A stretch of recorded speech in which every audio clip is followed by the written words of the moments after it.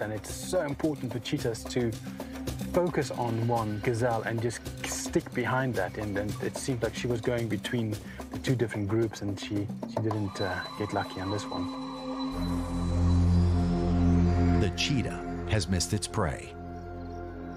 It's too hot now for another attempt, so it retreats and will look for any shade it can find.